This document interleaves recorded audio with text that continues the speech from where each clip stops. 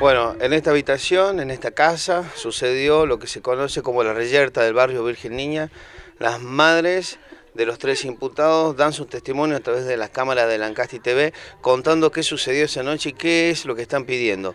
Testimonios muy fuertes acerca de familias que sostienen que han sido eh, víctimas de la tragedia causada por una persona y también por lo que sucedió esa noche. Aquí en el barrio en, eh, Virgen Niña, en el sur de la ciudad. Esto sucedió hace unos meses ya, a cinco cuadras, seis quizás, cuadras del centro de la ciudad de San Fernando del Valle de Catamarca. Piden justicia y hablan de que se ha hecho un trabajo de eh, investigación mal realizado.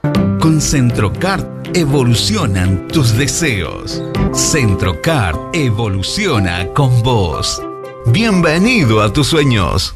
Está muy mal mi hijo, está muy mal, muy mal, porque él, a él todo esto que le está pasando, le han querido robar primero. Y él lo, hizo para que no se le vuelvan a meter, le fue y le, lo quiso, le pegó una piña, que de última podrían haber arreglado de otra manera, si le quería pegar Luján, ayer lo vi, que tiene una contextura física más o menos, podría haberlo peleado de nuevo si estaba enojado. Pero ¿por qué venir a la casa así meterse de esa manera y dar la, entrada a los otros? Como, porque ese es meterse, él, le ha dado el ok a los otros para que se metan, porque él se metió primero, porque es él el autor de toda esta desgracia. Cuando agarran a mi hijo a golpes de puño por la cabeza, por todos lados, a mi hijo lo marean tanto le pegaron a mi hijo que lograron voltearlo al piso con la silla. Así que mi hijo en ningún momento tuvo ni la posibilidad de defenderse, no lo dejaron levantar ni una mano.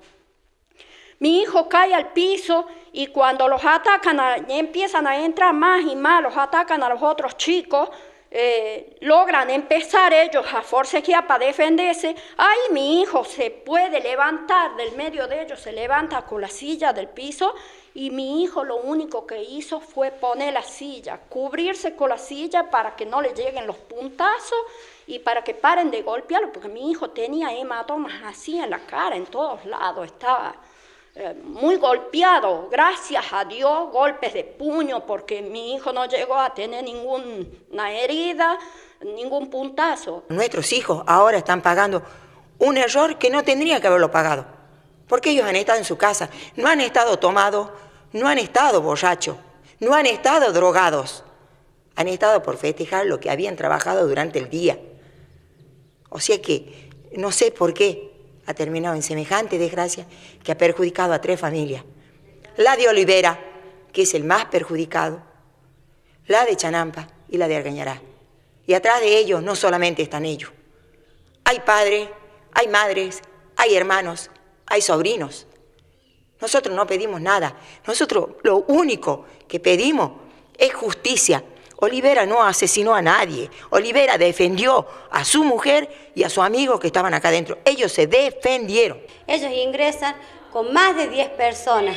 A mi hermano le metieron tres puñaladas en el cuerpo, una en la cabeza.